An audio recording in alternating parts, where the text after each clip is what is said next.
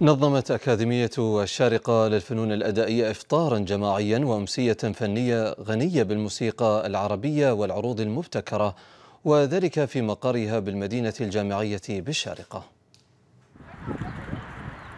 في أجواء رمضانية تسودها الألفة والمحبة بين طلبة أكاديمية الشارقة للفنون الأدائية.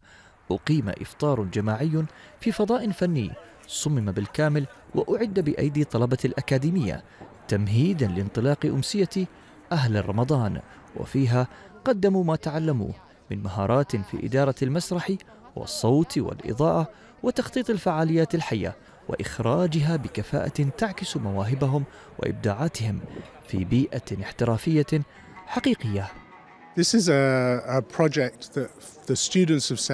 هذا المشروع هو من تنظيم الطلبة وفيه قدموا وجبة إفطار للضيوف وهم أيضا من قاموا بتنظيم كل شيء هنا في هذا المكان كما أن الحضور استمتع بالموسيقى العربية الرائعة وهذه ثمرة جهود متواصلة وشغف لا حدود له من طلابنا اللي قدمناه اليوم عبارة عن كمشة وصلات من التراث وصلات من التواشيح والموشحات والقدود الدينية والأناشيد والمدائح والابتهالات. البرنامج طبعا كان مقسم إلى ثلاث وصلات وكل وصلة على مقام معين.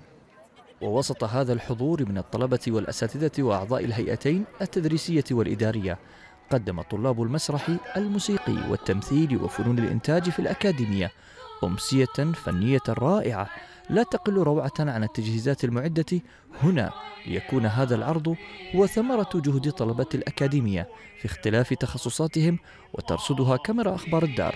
هذه الرحلة الموسيقية المليئة بمزيج من أناشيد وتواشيح التراث الديني أحد أشكال الفنون النابضة في الأكاديمية. إذا بأمسية رمضانية هنا في أكاديمية الشارقة للفنون الأدائية. وعرض للفنون استمتع الحضور بها وما قدم من أعمال في أحد أهم مراكز الإبداع المتخصص. لأخبار الدار ولد الأصبحي الشارقة.